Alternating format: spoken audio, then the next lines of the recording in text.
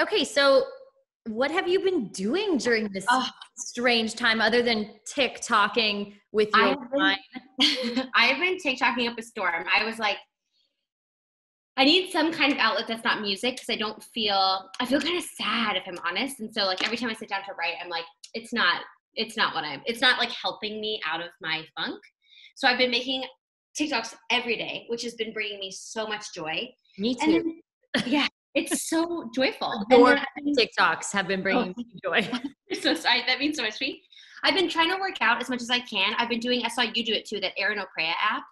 So good. And I got She's- to interview her the other day. She is, I, I think I have a girl crush on her. I'm not really Oh. sure, but Dude, I used to. I I got to work out with her a handful of times, like with uh, like training sessions, and like her personality is so up, and it makes working out fun. Yeah. And and then you don't have to think about it. You don't have to be like, what am I gonna do? You just sit and and do her program. So. Yeah. I've been doing a lot of that, and then Kyle and I have been playing video games and drinking wine and playing cards and nice. just staying happy. So, what video games are you playing? Because Steven is trying to guilt me into playing with him in every way possible, and I have not caved yet. And he, if he hears that you have been playing with Kyle, he's gonna be like, "See, Emily does it." what games does he play? He's like addicted to NHL on, Okay, okay. um, but he has golf, he has Call of Duty, he has, Oh, yeah. yeah. Yeah, Kyle's a big Fortnite guy. I don't play a lot of Fortnite, but FIFA, and then we've been playing Mario Kart. Mario. Oh, that I'm in 100. percent That's yeah. See, that's what I'm talking about. I'm not playing like I'm not playing the other stuff. Okay. I'm Mario Party, Mario Kart, anything Mario related. We are ripping it. We get so competitive, and it's so fun. Okay, I played Mario Tennis with him one time. That was one of my favorites. Um, I get like he's competitive, but he doesn't get mad. I get Yeah. mad, and I literally will throw my controller, and I'm like, I'm out. I, I mm-mm. It's so funny to watch yourself do that too, where you're like, I'm getting kind of pissed off that you're beating me right now. And I'm. I'm like, I love you, but man, I could punch you right now. I Just- could punch you right now. Yeah. Yeah. Especially after you've been spending all this time together. yeah.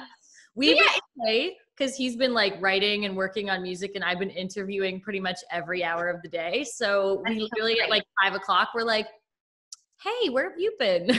Yeah, I think that's that's so great to have a little bit of separation. Um, it's just yeah, it's just interesting times. It's like whatever, anything goes right now. yeah, for sure. airport rules, baby. Like whatever's making you happy, you rock it. I think the TikToks are making up for the fact that I haven't seen you do any airport um, reviews, airport lounge reviews. Like I missed that. I'm like, somebody put that girl on a plane. Like no one else is flying right now. She should at least be able to fly. Get me on a plane. I miss, I miss, I miss everything. I miss the world. I miss people. I miss. I am not built for this life. I'm not built. This is bringing out. not my best one.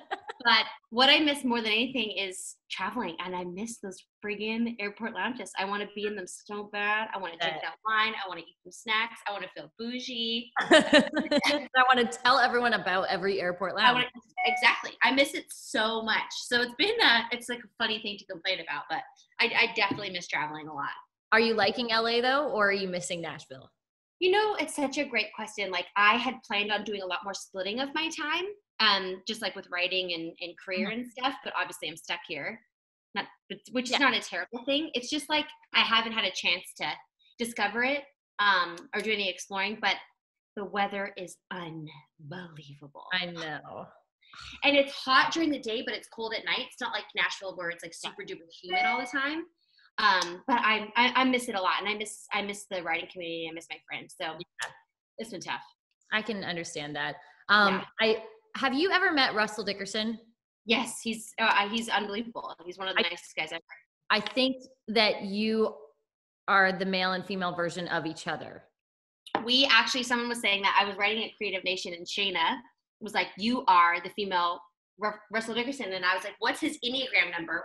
Which is like this personality test, and we're Yeah. both sevens, so we're like the enthusiastic joy guys.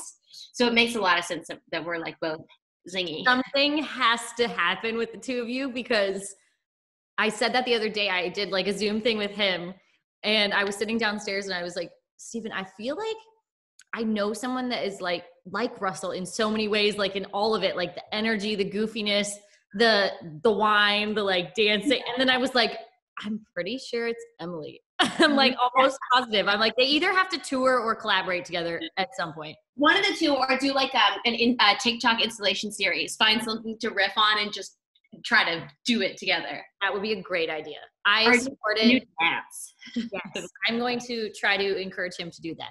I love that so much. Yeah, he's wonderful, and I love Kailey, and they're both just fabulous. Yeah, And they're pregnant. I know. That's very exciting. I saw Oh. that. Um, they're going to be the cutest parents in the world. Oh, I know. and so, like just just joyful parents. I would. I kind of want them to adopt me, honestly. yeah, because Yeah. then you guys could dance and drink wine and do TikToks. yeah, exactly. Like, hey, Dad, want to do? It's amazing. Um, okay, have you gotten a lot of? I I can ask you about this because I'm also engaged now, so I feel like. But have you gotten a lot of people being like, so you know, when are you going to have a big wedding, and also, are you guys planning on having kids? Have you had that question? Oh yeah, it's Yeah. like, and I don't blame people for it because I do the same thing when it's like, oh, you're No, engaged. Are you getting married? you're on the other side of it. It is so weird. And you're like, well, first of all, I don't know when the world's going to open back up yet. So I am actually so thankful we didn't start planning because so many pals this summer have to reschedule and it that Oh. sucks. So um, yeah, I get that question all the time. Then we get the baby question, and I'm like, We haven't even had the wedding yet. Yeah, we haven't even no, We're we're probably gonna.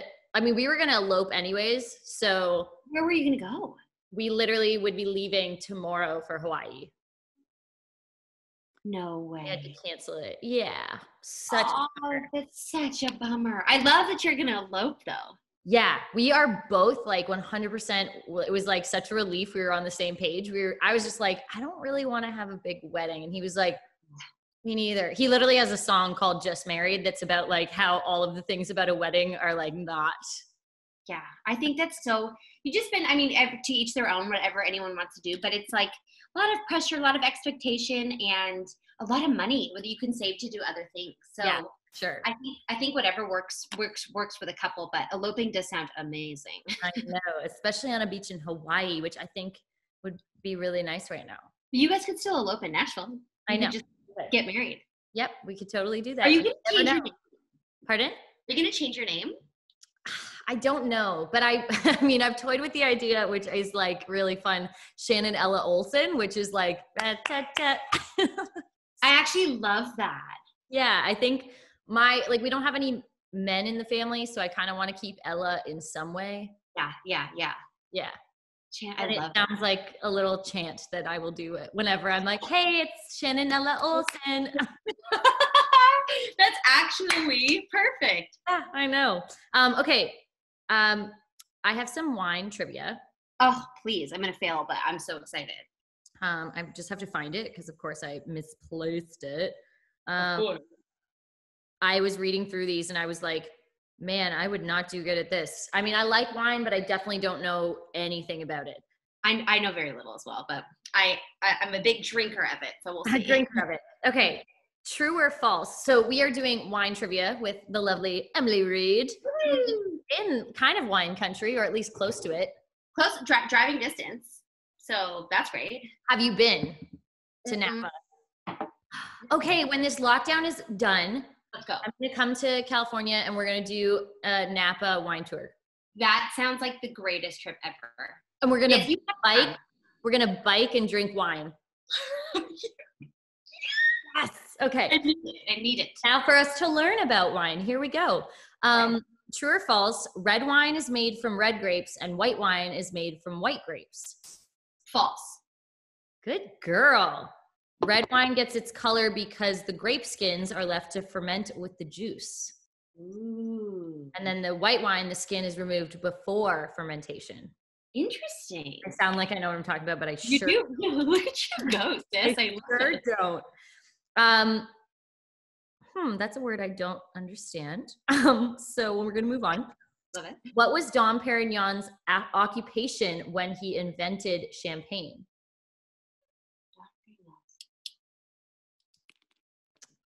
No idea. No idea. Um, you definitely, I would have been shocked if you had have said this. He was a monk. Yeah, What? I know. And he invented champagne. That says a lot about monks. Yeah, it, does. There's a le- lesson in this. I really, I'm thinking about that, and I'm like, wow, there is a lesson there. Yeah, and champagne. It kind of goes together in an interesting way. It does. In a, yeah, it sure does. Um, okay, which South American wine countries are known for their good value red wine? Chile, And second one, Argentina. nice, good girl. Wow. Okay. Love to see it. What kind of French wine is traditionally made from the Pinot Noir grape? No idea. Burgundy. Uh, interesting. Yeah. See, now when you go to drink wine with people, you're going to have I'm so much useless knowledge that you learn from me. You're going to be like, you know what Dom Perignon was when he invented champagne? He was. He was a monk, actually. um. Slaint, is that S L A I N T E? Is a typical toast in which country? Mm, Scandinavia.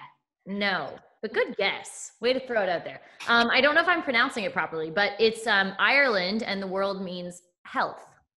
Interesting. I like that. Slaint. I like. I like that. I love that. that. Latte. Uh, okay, true or false? Fortified wines have been distilled to have a greater alcohol content. False. Good job.